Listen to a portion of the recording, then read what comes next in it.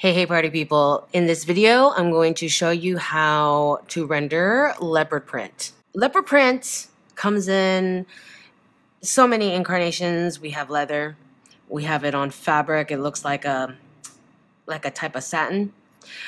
It comes in a faux fur. And this looks like maybe suede or pony skin, okay, which actually doesn't come from ponies, okay. And so I'm going to show you tips and tricks on how to do all different kinds of leopard print. Okay. For materials, I'm trying this paper out for the first time. This is the Borden and Riley Smooth Cotton Comp 100% Pure Rag marker paper. Not tried this yet, except to test out some colors, so we'll see how that goes. A bunch of other things here. I'm going to list the tools that I use in the description box. Whenever I am illustrating a pattern fabric, I have a list in order of how I tackle the pattern fabric. Number one, select your media. Sometimes the media is chosen for you by your boss, by your teacher, or you just do whatever the hell you want. Today I'm going to demo with marker and with colored pencil. If you want to watercolor or gouache leopard print, you can use the same method I show you in the marker rendering. All you have the only difference is you have to wait for layers of paint to dry when you're painting. Marker dries really fast, so you don't have to wait. When you have something smooth like this or like this, you can really use anything. When you have something fuzzy like this, fuzzy, furry, more textured, I like using color pencil. Whether I mean, I usually don't do color pencil as my main medium. I generally use it as a texture touch. So I will do most of it in marker and then go in with some texture if I feel like I need it. Okay, so select your media, select your colors. Now, when I was testing the swatches, uh, when I was testing colors for this demo, I was trying out both sides of the paper like I usually do, and I discovered that I prefer the underside of this paper. You know, longtime viewers know that I'm not going to run out and buy every color I need for each video. I'm just going to get as close as I can. So with, you know, these leopard prints, there's actually a lot of colors, okay? You can get more like cool tone, you know, more taupey, and then you can get more orangey, warm tone. This is a Derwent Color Soft Peach. This is a Caran d'Ache Luminance Raw Umber.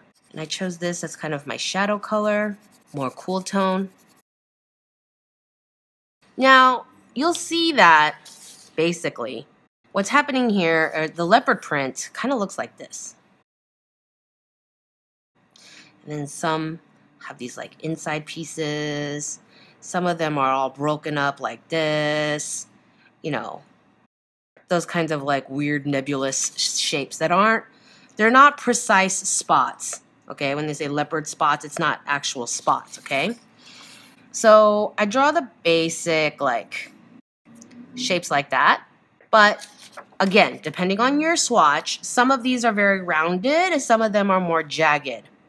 So pay attention to your swatch. Let's say I'm doing this one right now because of the cool tones. And so I want to do a more jagged, hairy. And then the center of these spots are a darker color, this kind of khaki color. Some leopard prints don't have that. See, there's so many varieties. You need to really be aware of your swatch or your visual reference that you're using for your illustration. So this is my Prismacolor, what is this? Bronze, but it's not metallic. And I'm going to go in here in the middle of these sections, right? To create that. That's the basics of the color pencil leopard print. And then with marker and paint, Prismacolor Brick Beige, I'm mimicking this one more the warmer one. I do have the light walnut for shadowing my base color, which is not as important right now. And then I have my black, and again, I'm going to put in these sort of like funny little shapes. And then I'm going to take the darker color. This is my Spectra in tan. And I'm going to go in there in the middles and put in that color. Whenever you contaminate your colors with a darker color, always make sure you clean off your nibs for the longevity of your marker. Again, this technique can be done with paint exactly like this. Just wait for your layers of paint to dry. So we have our media, we have our colors. Next, we're going to draw our garment. If you have problems drawing garments, refer to my Drawing Clothes on Body series. So one, we're going to uh, draw the garment with the wraparounds this wraps around her leg and this wraps around her leg like this and this wraps around her neck and these wrinkles wrap around her elbow. Our bodies are basically a bunch of cylinders. And so our clothes wrap around and they create the round shapes. You're going to think about the drape of your fabric. So we have something that is thin and fitted to the body very closely you have something like this that is very boxy and thick and fat and hairy. Okay, so you have to pay attention to the drape, the texture, and the thickness of your specific fabric. If you want to learn how to draw fur and render fur, I have a whole video on fur. It's one of my way earliest videos. When you draw fur, you have to keep in mind the thickness of fur, and that's why I'm drawing so far away from her body. For this one, for the sheath dress underneath, I'm going to mimic this one. So we've drawn our garments, we've considered uh, the wraparounds, and we've considered the drape and the thickness and the texture of the fabric. So now we're going to fill in our background color and add in our shadows of the background color. That was light umber 30%. Let's pretend our light source is over here. Drop shadow under the jacket, dark side on the hip, a little bit of the in between the legs, walking kind of shadow like that. And that is Copic Bisque E30. So for this jacket, I'm just going to use the warmer colors just so we can see the difference. And for fur, I do prefer a brush tip. I don't need it, but especially if you're a beginner, it'll probably be helpful to you. And again, this side gets the shadow because it's away from the light. The jacket overlaps. I did it the wrong way. Okay, whatever. But when the jacket overlaps, especially on a fat fabric like this, you're going to see that overlap shadow.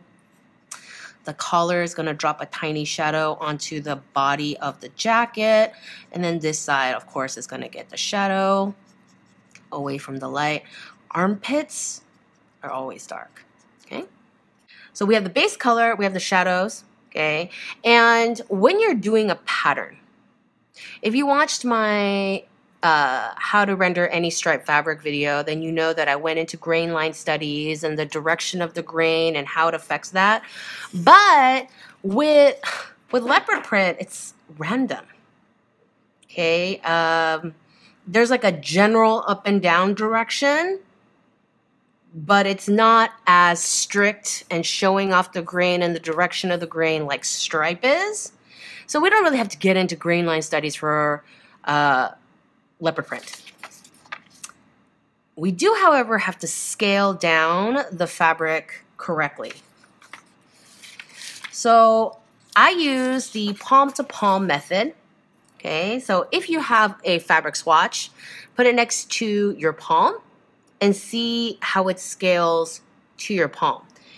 I chose these two samples because you can see the hand in each photo.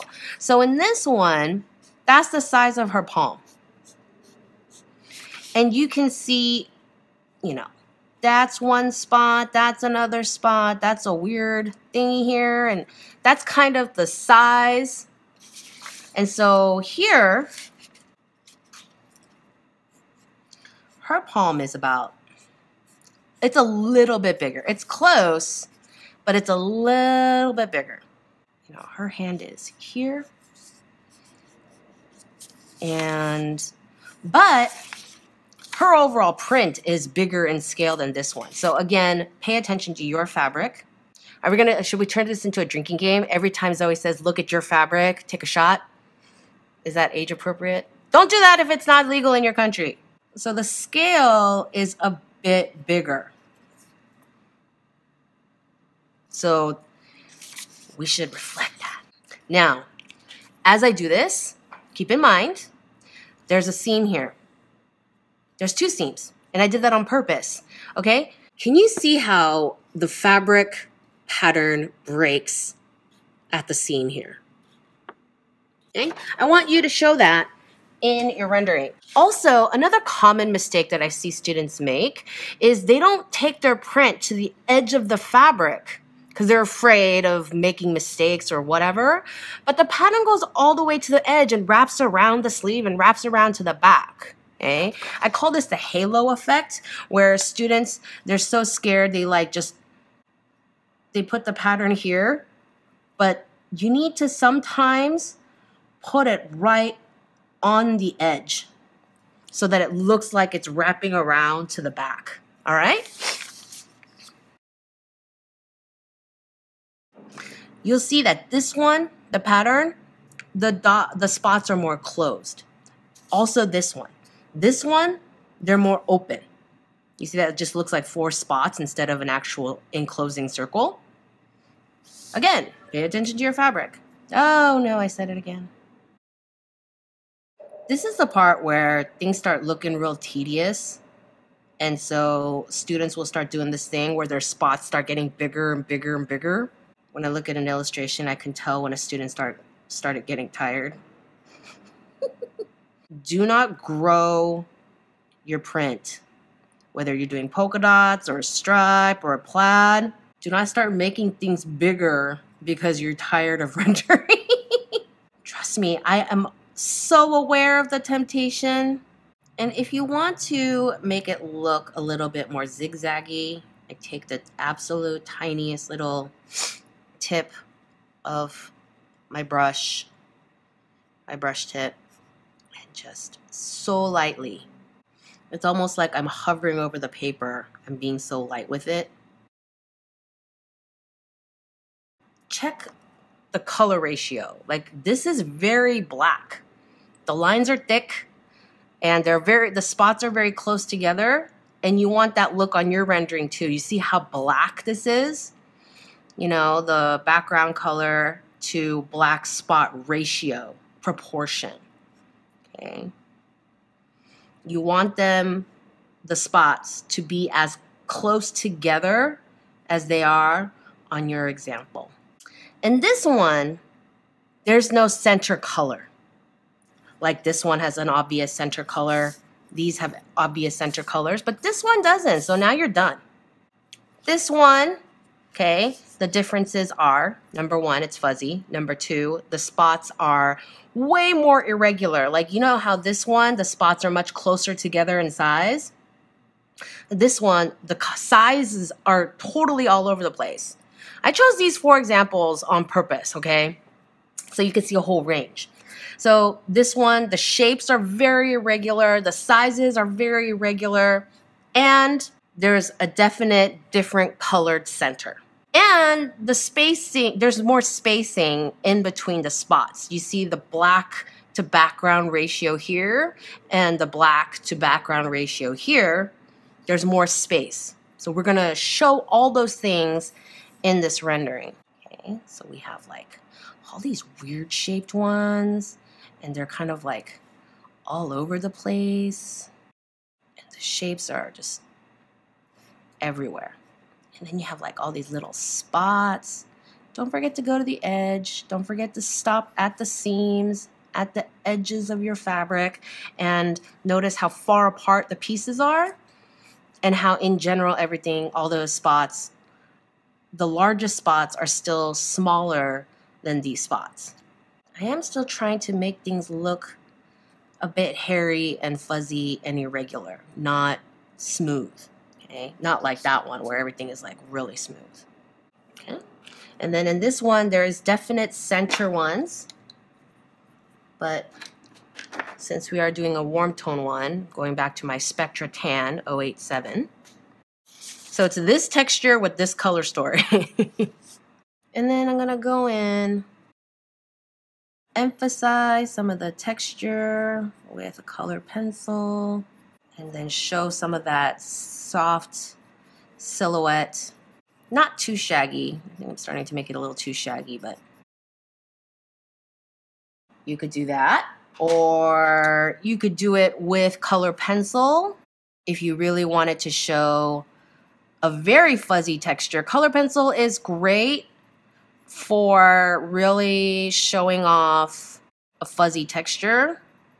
Nothing beats it. I would typically do this where the background, I do it very quickly with marker, and then I do the texture showing things with color pencil. You could do the whole thing with color pencil. And then again, there's my, my shadow color. I'm trying to, I'm using the side of my pencil so that I can get a fuzzy texture without drawing individual hairs. And go in with my base color again and if I want to blend some of this out. And then I'm going to take my black and again, I'm mimicking this one. So the spacing is far. The shapes are very strange and irregular. It's fuzzy.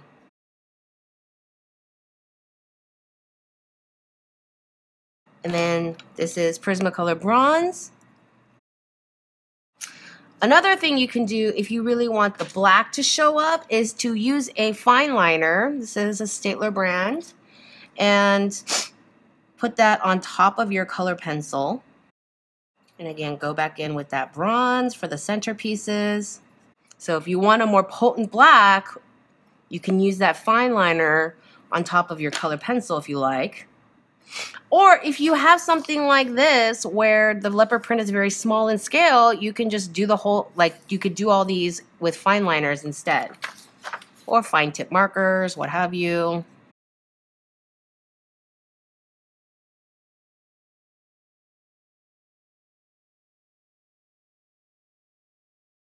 I know that looks like a very bizarre outfit comprised of. That's hilarious looking.